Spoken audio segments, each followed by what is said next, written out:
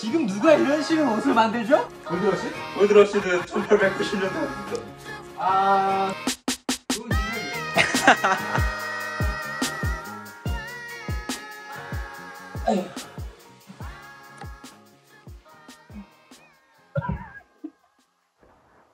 기본적으로 5, 60년대 디자인인데요. 어떤 분들은 5, 60년대 디자인 하면 제가 말씀드렸을 때 이걸 모았어? 대박이다 라고 생각할 수 있는데 어떤 분들은 왜 옛날 옷이 무슨 생각이냐고 하실 것 같아요. 근데 이건 지금 거의 구하기도 힘든 아카이브라고 생각하고요. 제 생각은 그런데 이 5, 60년대 스타일의 지지안이라 하죠. 데님 자켓에 저희가 집착하는 이유는 90년대 그 디자이너들이 자기 이름, 얼굴을 걸고 로고나 로고 플레이를 하고 특이한 실루엣을 보여주기 전부터 그러니까 회사 차원 회사나 백화점에서 나온 워크웨어에서 요즘 옷 못지않은 아름다움을 찾았기 때문인데요. 남성 복식사에 대한 이해가 없어서 너무 특이한 디테일이나 약간 어떻게 보면 일종의 밈처럼 당시에는 확 주목받지만 뭔가 시대를 걸쳐서 사랑받을 수 있는 디자인이 안 나온다고 생각하는데 이 옷들은 완전 그런 개념에 집중한 어떻게 보면 고지식한 옷들인데 한번 보여드리고 싶습니다. 첫 번째로는 이 자켓인데요. 이 자켓이 이 뒤에 있는 다섯 개의 디자이너 제품들을 다 원류가 된 그런 자켓입니다. 이게 60년대 타입 2 507 XX 507 XX라는 자켓이고요. 이 디테일이 이게 지금 이 똑같은 디자인이 유니클로에도 지금 있어요. 그러니까 유니클로는 모든 사람들한테 예쁜 옷, 질 좋은 옷을 공급하는 브랜드잖아요. 근데 이런 보수적인 옷을 연구하고 있다는 거죠. 어... 시색이 안 할 수 없는데. 이것이 지금 거의 이 정도 상태와 사이즈는 한 3, 400이면 구할 수는 있는 것 같아요. 이 자켓의 좀 아름다움에 대해 설명드리자면 보통 3세대라고 하죠. 지금 백화점 같은 데 가면 가- 많이 볼 수 있는 V, 여기 V 스티치가 있는 60년대 말 타입 3 자켓이 나오기 이전에 이 자켓이 리바이스가 만든 청자켓의 기준이었어요. 이 사각 포켓이 제일 포인트고 이거 일- selvedge가 있고요. 화이트 selvedge고 여기 노란색이 있는 것 같은데 이건 스티치입니다. 이쪽 스티치가 이렇게 박힌 거고 60년대 그 당시에는 모든 패브릭들이 셀베지 마감이 있었어요. 그리고 셀베지 옷, 오류들은 원단이 두껍고 세탁을 하면서 불규칙하게 변형이 됩니다. 그런데 지금 시대에 셀베지를 만들려면 돈과 시간이 훨씬 많이 드는 건데 그때는 그게 기준이었던 거죠. 당연한 거고. 그럼 유니클로 셀비지는 유니클로 셀베지는 가짜죠. 그래서 이런 재미있는 디테일 있고 일본에서도 일본의 유명한 브랜드들도 다 이 원단 느낌을 똑같이 재현하기 위해서 계속 연구를 하고 있습니다. 그리고 좀 오타쿠 포인트는 여기 이렇게 디귿으로 레몬실 스티 어, 오렌지색 스티치가 있고요.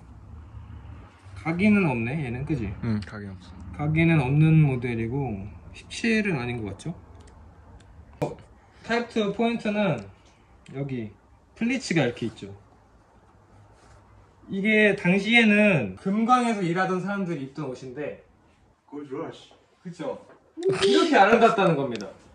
여전히 남성 복- 남성 옷을 좋아하는 남성들한테 영감을 주고 이 플리츠가 너무 우아하지 않나요? 금강에서 금을 캐기에 그리고 이 자켓은 큰 사이즈라서 여기 요크 같은 게 있어요. 원래 이게 없고 이렇게 끝나는 건데 여기 여유분이 더 들어 있습니다. 그리고 심지어 여기는 레몬색 실, 여기서는 오렌지 색 실을 사용한 특이한 개체입니다. 이걸 좋아하시는 분들은 아실 거예요. 이 자켓을 얼마나 누구나 갖고 싶어 한다는 걸. 질문 있습니다. 언제 만들어졌나요? 이거 제가 알기로 타입2 자켓은 두 가지 종류가 또 있어요. 여기에 G 패치가 있는 게 있고 종이 패치, 가죽 패치가 있는 게 사슴 가죽이 있어서 혜 택할수록 줄어드는 게 있는데 이거는 60년대 중반으로 알고 있어요. 골드러시? 골드러시는 1890년대 아닙니까? 아 그렇긴 하죠. 근데 제가 생각할 때 60년대 그쵸 창세기 데님이라고 하는데 좋은 지적이에요. 근데 지금처럼 멋부리는 브랜드, 어, 멋부리는 태도의 옷은 아니었다는 거죠, 확실히. 맞습니다. 그냥 보통 남성들의 그런 워크웨어 기반한 태도에서 보통 남성들의 편안한 옷이었던. 근데 지금 이렇게 예쁘고 모든 디자이너들이 킴 존스가 베르베르 진에 가서 타입 2를 사고 후- 후지와라 히로시, 니고 모두들 이 자켓을 가지고 있죠. 저희 집에도 있고. 와 세월에. 아니 우리가 커진 거였지도. 아 이거 설명 안 했다. 이거 원단 달라. 이게 왜 다른 건줄 알아? 찍으면서 봐봐. 이게 미- 위에도 데님, 밑에도 데님 쓰면 엄청 이렇게 꾸불꾸불 거리게 돼. 근데 이게 아, 깔끔하게 내려지게 하려고 어, 여기 chambray 같이 얇은 원단을 쓴 거야. 완전히 쓰고 이게 60년대 디테일입니다. 지금 누가 이런 식의 옷을 만들죠? 스고이 미쳤지? 여기 다르잖아 원단이 데님이 아니야 얇은 얇은 코튼이라 해야 되나? 스게 미쳤지? 누가 이거 김치찌개 먹어? 어떡해 그리고 어 타입 2를 계속 보여드리면 아까 니고 먼저 니고 얘기를 했으니까 저희 그런 포인트가 있었죠 디자이너들의 옷을 사고 싶다 근데 디자이너들은 뭘 입을까? 난 디자이너들은 지 옷 팔지만 자기들은 더 좋은 거 입는 거예요. 그래서 그들이 옷을 뭐가 있는지 궁금해서 찾아봤고 그들의 옷도 그들이 디자인한 옷도 입으면서 그들이 입는 옷도 같이 입고 싶었죠 저희는. 이 자켓은 비슷한 연식 자켓이 두 개 있는데 똑같이 생겼죠? 60년대 자켓이랑 형식이? 택 보자 택. 택은 이게 린가? 랭글러인가? 이 스타일이 똑같은 게 있는데? 빈티지에? 약간 보시면 세 개 같이 나와 플리츠까지. 90년대에 지금 흠연메이드를 야, 너무 유익하다 이 강의. 이런 거 누가 알려주냐? 돈 주고 들어야 돼 돈 주고 들어야 돼. 90년대 니고가 베이프 완전 초창기 작품이거든요? 맞지? 노웨어 때.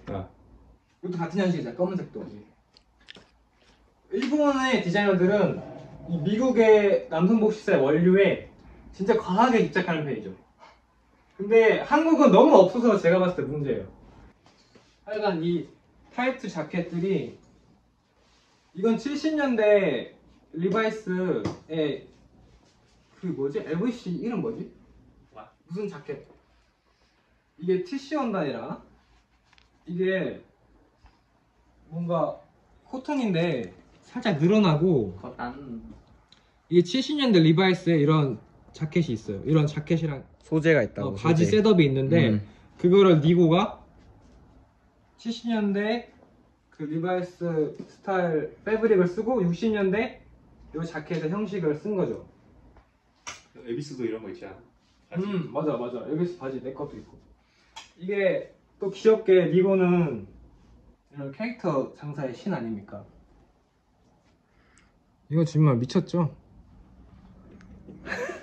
이게 타입2에 이렇게 귀여 이렇게 근본적인 접근을 했는데 이런 귀여운 캐릭터가 있다는 게 이거 찍어줄래? bro 베이프 그렇습니다 이 자켓도 검은색에 이 코튼 100%인가? 너무 예쁘죠? 특히 검은색 빈티지 이런 기반 자켓들은 흔치가 않아요. 왜냐면 검은색을 어, 사람들이 패션으로 즐기기 시작한 게 80년대부터기 때문에 그 이전에는 검은색이라는 건 복식에서 결혼식 아니면 제사 제사래 제사. 제사 너무 한국적인 표현이죠? 어, 장례식. 장례식. 때나 입던 옷인데 그래서 리바이스도 다 블루 데님인데 시작부터 60년대까지 그리고 80년대까지? 80년대부터 처음으로 블랙 모델들이 나와요. 초기 베이프의 파이프 어 슈프림 old 슈프림. 이게 넣어야 이쁘더라고. 음 예뻐요.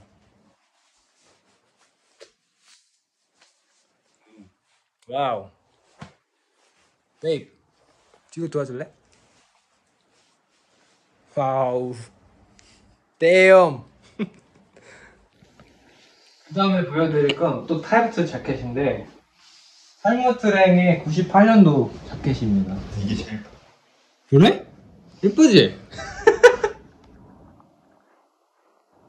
예뻐요. 헬무트랭은 여기 플리츠를 제거했어요. 나 근데 플리츠가 없어진지도 몰랐어. 너무 자연스러워가지고.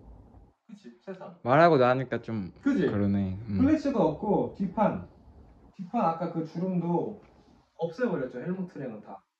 90년대 헬무트랭 데님이 진짜 근데 밑위가 너무 짧아가지고. 네, 좀 동양인한테 힘들긴 한데 하지만 정말 예쁘죠. 워싱, 워싱을 했고 좀, 좀 워싱 데님은 안 좋아하는 편인데 보수적인 데님 마니아여서 근데 헬무트 랭은 용인 될 수 있을 것 같아요. 헬무트 랭 옷은 항상 이런 식으로 써있어요. Vintage sand denim This product has 그러니까 이런 말을 해놨어요. 이 옷은 빈티지에 기반했으며 빈, 빈티지만큼 아름다운 옷이다. 그러니까 헬무트랭은 동시대의 에디 슬리먼처럼 항상 옛날 옷으로부터 빈티지로부터 영감을 얻는 사람입니다. 근데 이걸 뭐 아시는 분은 아시겠죠? 알고 계세요? 전 몰랐습니다. 그 헬무트랭 옷을 만져보면 알 수 있어요. 어, 그냥 만져보자. 텍스처 자체가 엄청 보수적인 아이디어에서 시작됐다는 걸. 진짜 튼튼하거든요. 헬무트 랭. 헬무트랭이 다 끝냈죠. 기성복에서 할 수 있는 모든 것을. 맞지 맞지. 동의하시죠? 동의하세요? 동의합니다. 동의하세요? Agree. 헬무트랭이 끝냈어요. 이제 나머지 저희 나머지는 팔먼 자켓인데요. 정말 어마어마한 제오쿤의 아 이겁니다. 진짜 이거보다 아름다운 자켓을 본 적이 없어요. 데님 자켓. 제 스프림의 제임스 제비아가 초창기에 한 자켓 몇 년도인지 알아? 혹시? 이게 미친 게 데님 지금 자켓이 다섯 개 있는데 네 개를 이 사실 대전판이라고 1세대 대전판이라는 디테일이 있는데 40년대 40년대에 전쟁을 할 때도 이 자켓이 나왔었어요 리바이스에서 1세대 2세대 전에 1세대 자켓이 나왔는데 그때 그때만의 디테일이 이 월계수 디테일입니다 40년대 대전판에 있는 그거를 슈프림이 제비아가 살렸고 네 그때 특징이 대전판이죠 물자 절약이에요 여기 flap이 없어졌어요 flap이 어. 없어요. 네. 그래서 아주 간소화된 디자인. 단순미의 끝인 거죠. 뒤로 가볼래? 전쟁 속에서 나온 간결한 단순미의 끝. 이게 이 대전판 디자인입니다. 그런 감성을 헬무트 랭이 잘 표현하는 것 같아요. 그래서 이 자켓 미쳤어요. 스프림 지금 핫한 브랜드죠. 그가 무슨 스트리트지? 어 아파트 스트리트에서 초창기에 수시 직원을 겸직하면서 장사했던 그 시절 그 시절 아파트 맞는 것 아, 같은데. 맞아 아파트 맞아 리바이스 1세대 대전판을 자기 스타일로 만든 그 자켓 와우. 슈프림의 그 자켓 박수 한번 쳐주세요. 네! 보이시죠? 와, 뭐. 슈프림 로고 고생이 여기 태그, 많아요. 네이비색으로 태그. 여기 리벳에도 슈프림. Selvedge. 핑크 selvedge. 진짜 두꺼워요. 태그. 이거 진짜 찾기 힘든 90년대 보물입니다. 이거 기적이에요. 여기도 많은 디테일을 제거한 것 같아요. 제임스 제비아가. 여기 플리츠는 귀엽게 1cm 정도만 해놨네요. 아 있긴 있네. 응, 있긴 음, 있어. 있긴 있네. 신기하지? 이런 감성은 약간 오라리 감성 아니냐? 오 맞는 것 같아, 맞는 것 같아. 정말 돈 내고 보셔야 돼요. 이 영상.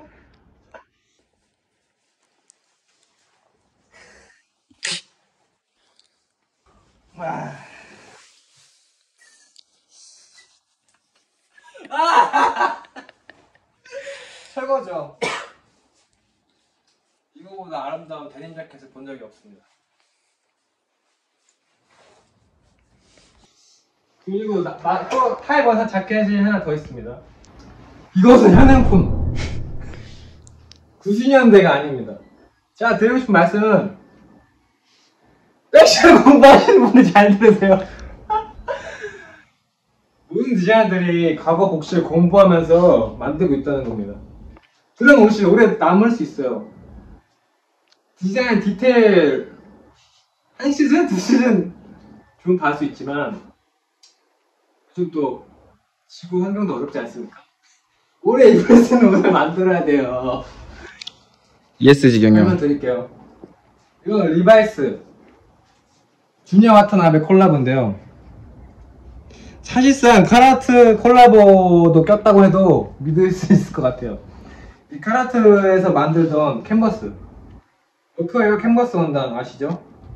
그런 그런 소재를 썼고 그러네 이거 할 때 칼하트도 똑같이 나왔으니까. 그 어, 파랑 칼하트도 콜라보 있었지 그 시즌에. 파랑색 어. 어, 좀 되게 남성 아카이브 룩 좋아하시는 분들이 좋아하는 시즌인데 이게 진정한 일본 디자이너이기 때문에 좀 더 보수적으로 디자인한 것 같은 게 1세대의 특징인 신치백이 있어요.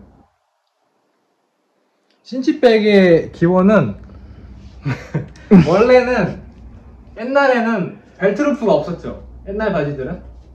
그래서 멜빵을 했고 멜빵 다음에 신치백 그 그러니까 벨트루프 벨트와 벨트루프 발명 이전에 신치백으로 허리를 조절했었어요. 그 디테일을 이해하고 재현한 거죠. 가까이 보시면 여기 리벳의 가운데 털이 이렇게 패블릭이 튀어나와 있죠. 어 그러네. 이게 구식 방식이에요. 리벳을 박는 옛날 방식. 좀 흥분한 것 같은데. 이런 포인트를 누가 얼만큼 느낄 수 있죠? 이렇게 옷을 보면 작품이죠. 이런 작은 디테일들을 느끼면서 이제 또 요즘에 이런 빈티지들이 주목받으면서 페인트된 빈티지들도 많이 찾기 시작했죠. 그런 감성을 주냐 와타나베가 새로운 제품으로 예쁘게 진짜 만든 것 같아요. 신치, 버튼, 이거는 대전판 기반은 아니네요. 그러네. 버튼 다섯 개고 플랩이 있고 그러니까 1세대 대전판 다음 모델 1세대를 기반으로 만든 거고 분위치가 있고요. 멋있죠? 중요 아타나베 LBC도 이런 이런 멘탈을 만들어야 될 텐데 요즘에 LBC 그죠? 따끔한 지- 저격거지. 자 옷은 다 보여드렸고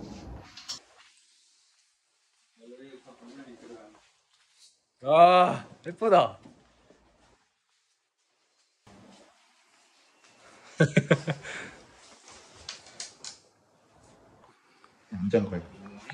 여기 봐봐 이제 이 다섯 개 옷걸이가 여섯 개 옷걸이가 달라 보이시죠? 이런 사람들도 한국에 있습니다